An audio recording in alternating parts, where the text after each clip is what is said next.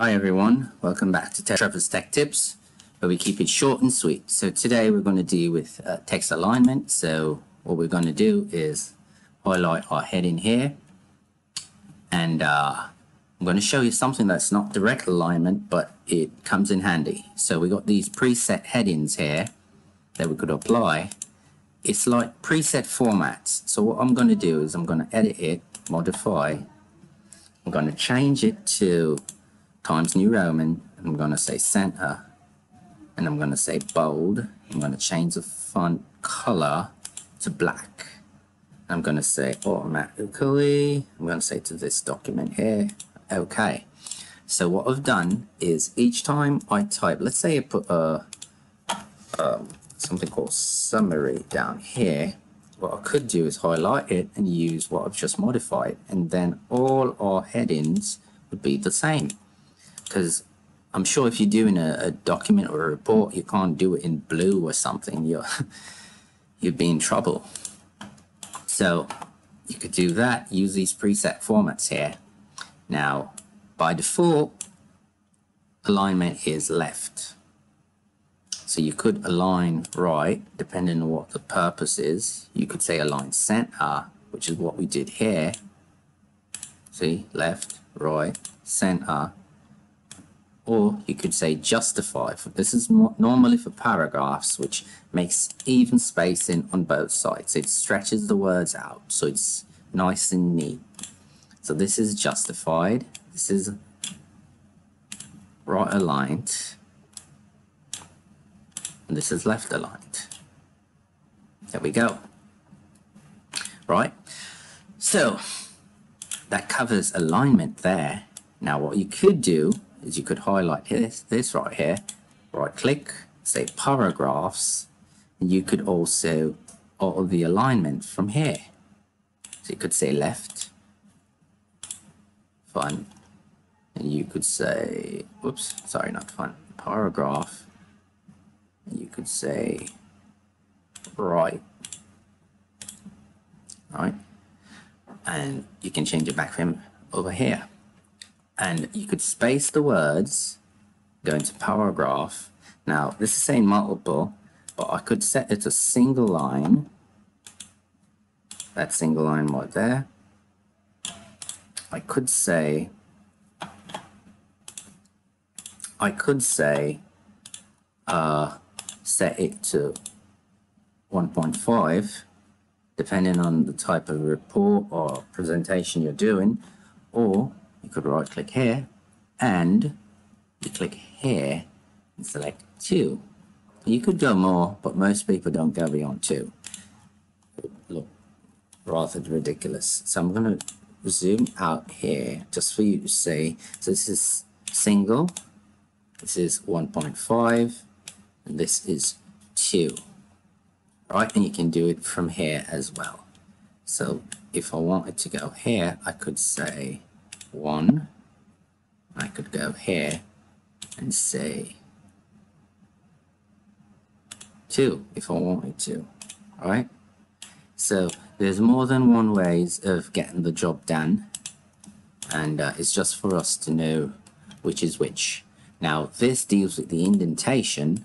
I could block here and go like that. Increase and decrease the indentation. Or what I could do is go here. then we've got indentation here. And I could increase the indentation and you get a preview right here. See? So you get a little preview to know what the indentation is going to be like. And I could even indent it from the right as well. It all depends on what the uh, the purposes. Now, the beauty of doing it here is you get a little preview. So let's say, for instance, I want it to do this part here, and I want it to do spacing. You get uh, a little preview. And this is a spacing before a paragraph. See? So before the paragraph starts, you get a bit of spacing. And then after the paragraph, Oh, let me show you here. Uh, let's say we're doing this one here.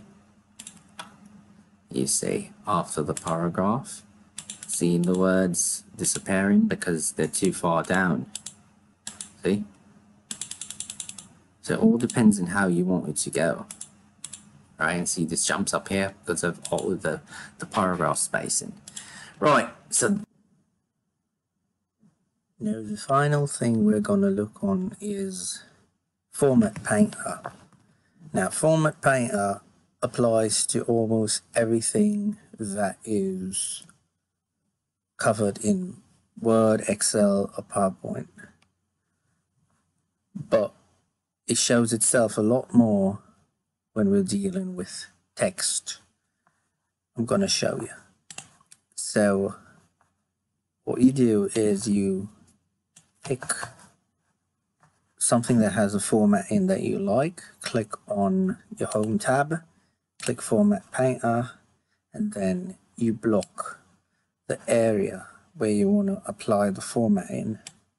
So by blocking this area, we have applied the, the line spacing and the indentation from here over to here.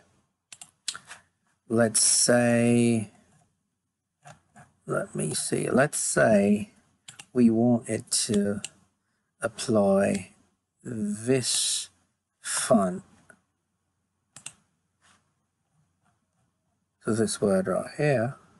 We could go like that. See, it takes on the same font face and the same font size right? Now, this is sort of in a table format, even though you can't see the, the lines. So this retains its alignment like that. So Format Painter, it applies to a, a multitude of things. So let's say, for, for instance, uh, Format Painter it takes on the font face, which is Times New Roman in this case.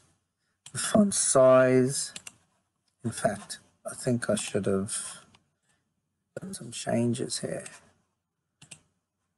Let's put a bit more format in there. Then we format painter this.